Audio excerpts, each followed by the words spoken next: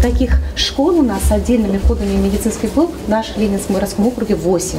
Их у нас 18, но 8 имеют такие э, медицинские блоки. Принимать высоких гостей в Лопатинской средней школе привыкли, но сегодня экскурсию для представителей Министерства здравоохранения проводит заместитель главного врача ВРКБ Елена Зинатулина. Неудивительно, что конференция, посвященная здоровью школьников, проходит именно на базе этого учебного заведения. Построенное в 2019 году здание имеет просторный медицинский блок, в котором врачи комфортно и быстро могут принять большое количество ребят, многие из которых на части обследования оказываются впервые. Не все дети из э, Российской Федерации здесь учатся, не все дети когда-то были дообследованы. И во время э, УЗИ мы выявляем очень много патологий. Это знакомство с современными методами работы врачей в условиях учебного заведения стало частью презентации проекта «Школьная медицина в образовательном учреждении». Он направлен на более глубокое обследование школьников и раннее выявление различных болезней. Автором идеи стал главный врач Видновской районной клинической больницы Бутай Бутаев. Основа, конечно, этого проекта то, что все-таки электронный документооборот,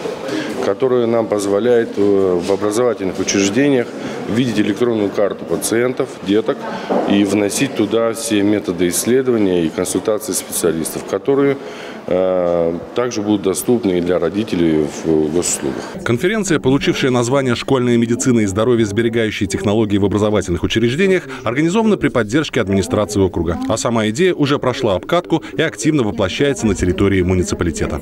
Когда этот проект задумывался, исходили из того, что Э, нужно или тысяча-тысяча мальчишек, девчонок привести в амбулаторию, в поликлинике, либо, собственно, несколько медицинских работников должны приехать вот сюда. И сейчас у нас охвачены все, без исключения, образовательные учреждения. Это просто на понимание 45 тысяч мальчишек и девчонок. Уникальность проекта, в который вовлечены врачи муниципалитета, заключается в том, что в своей работе они объединили здоровье сберегающие технологии и принципы так называемого бережливого производства. Совместная конференция медицинских работников, образования и ведущих экспертов Минздрава Российской Федерации поможет э, выработать э, стратегию э, дальнейшего развития профилактических направлений в области школьной медицины. В конференции приняли участие порядка 120 медиков и педагогов из Москвы и Московской области. Максим Козлов, Сергей Ларин, Екатерина Давлятова. Видное ТВ.